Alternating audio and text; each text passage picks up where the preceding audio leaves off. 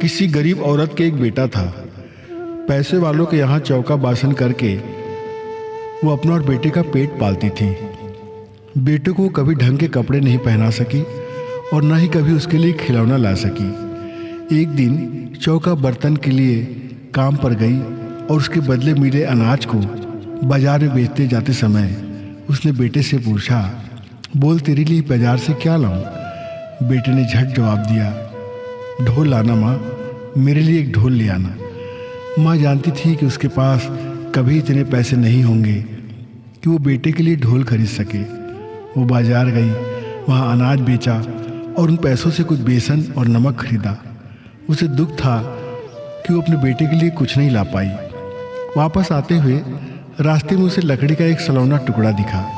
उसने उसे उठा लिया और आकर बेटे को दे दिया। बेटे को कुछ समझ में नहीं आया कि आखिर वो उसका क्या करे?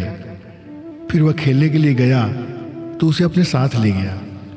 एक बुढ़िया चूल्हे में उपले जलाने की कोशिश कर रही थी, पर गीला होने के कारण उपलों ने आग नहीं पकड़ी। चारों तरफ़ धुआँ ही धुआँ फैल गया। धुएँ से बुढ़िया की आँखों में पानी आ गया। लड़का रुका और पूछा कि वो क्यों रो रही है? बुढ़िया ने कहा कि चूल्हा नहीं जल रहा है। चूल्हा नहीं जलेगा तो रोटी कैसे बनाएगी? लड़के ने कहा, मेरे पास लकड़ी का टुकड़ा है। चाहो तो उससे आग जला लो। बुढ़िया बहुत खुश हुई।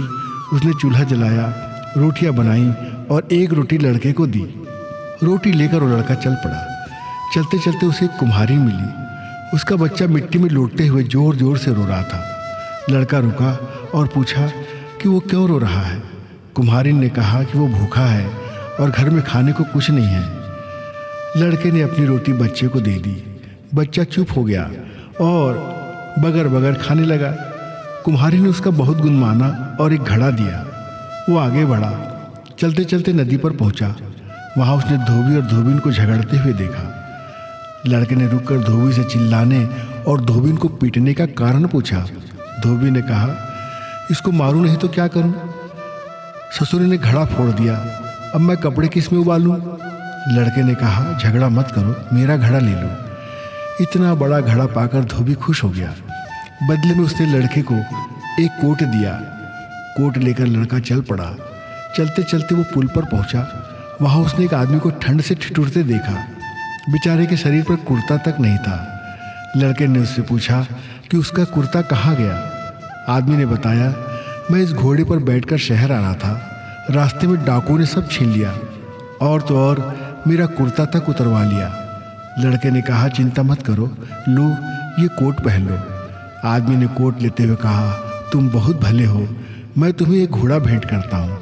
लड़के ने घोड़ा ले लिया।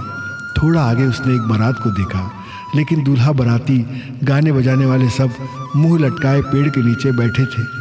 लड़के ने पूछा, कि आप लोग उदास क्यों हैं? दूल्हे के पिता ने कहा, हमें लड़की वालों के यहाँ जाना है, पर दूल्हे के लिए घोड़ा नहीं है।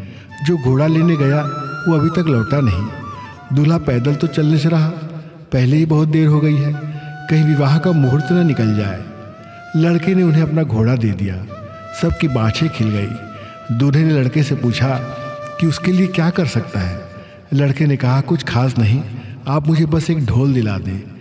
दूल्हे ने ढोल बजाने वाले से उसे ढोल दिला दिया। लड़का भागा भागा घर पहुँचा और ढोल बजाते ही माँ को बताया कि उसकी दी लकड़ी से उसने ढोल कैसे प्राप्त किया? इस कहानी से हमें ये सीख मिलती है दोस्तों कि अगर भलाई करो तो खुद की भलाई बहुत हो जाती है। यदि तुम दूसरे का ख्याल करो तो तुम्हारा भी ख्याल करने वाला कोई ना कोई आ जाता है। दूसरों की सेवा, दूसरे के चेहरे पर मुस्कान, इस कहानी का मूल अर्थ है। मुझे उम्मीद है आपको पसंद आई होगी।